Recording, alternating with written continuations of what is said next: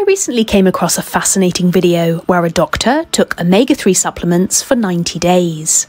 And later on in this video, we're going to hear why Dr. Michael Greger recommends everybody, not just vegans, should be taking a vegan omega 3 supplement. So, first, back to Dr. Allen. He said he eats a predominantly whole food, plant centered diet with some meat and fish once a week. And he said he makes sure to eat flaxseed every morning on his oatmeal. The main reason he was trying this was to see if he could improve his pretty severe dry eyes. He tested his omega 3 index before starting, and it was low at 4.3. But after 90 days, not only did his omega 3 index rise to 9.5, but he describes a quote, significant shock, unquote, in how much his dry eyes improved. To hear more details, you can click the link below to his video. Now, the vast majority of the population get their long chain omega 3s from fish, but in recent decades, one of the biggest concerns about fish has been its potentially harmful levels of pollutants and metals, such as PCBs, dioxins, and mercury, a known neurotoxin. And I've been struck recently with the amount of studies coming out of the critical importance of getting enough omega 3 in your diet, not just for vegans. This study seemed to provide the strongest evidence to date of the importance of including omega 3 fatty acids in the diet, as so many Americans do not meet current guidelines.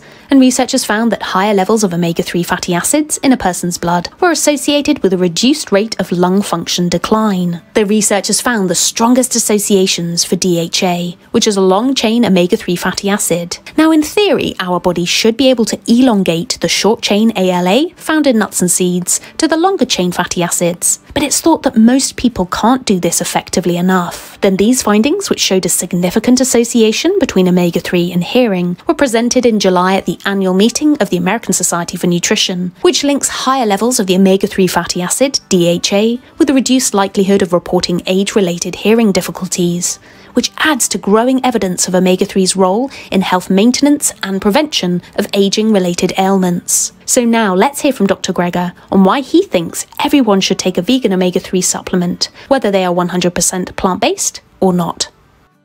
So there are trials showing that people with levels of these long chain fatty acids found in populations that don't eat fish, they don't get these preformed EPA, DHA in their diet. You take those kind of blood levels and then you randomize them to an algae based DHA or a placebo and you get a significant boost in cognitive performance in the DHA group. Not run by a DHA company or whoever. So this is a randomized double placebo controlled trial. That's convincing to me. It's like, all right, uh, because of the way I eat, I'm going to presume my levels got to be down here. And they took people whose levels down here, gave them some, you know, actually did like 250 milligrams of DHA.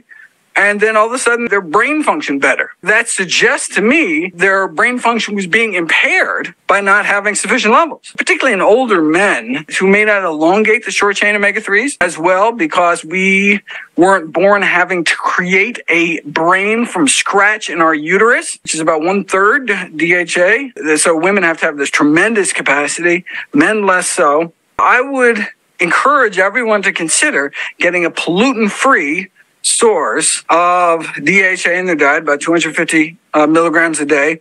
So there's some made from yeast, some made from algae. So you don't have to worry about, you know, toxic heavy metals like mercury and PCBs, dioxins, etc.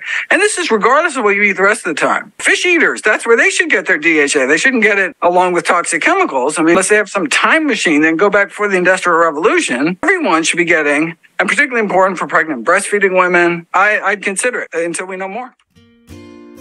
Thank you so much for watching. If you liked the video, please give it a thumbs up, leave a comment below and subscribe for more upcoming videos.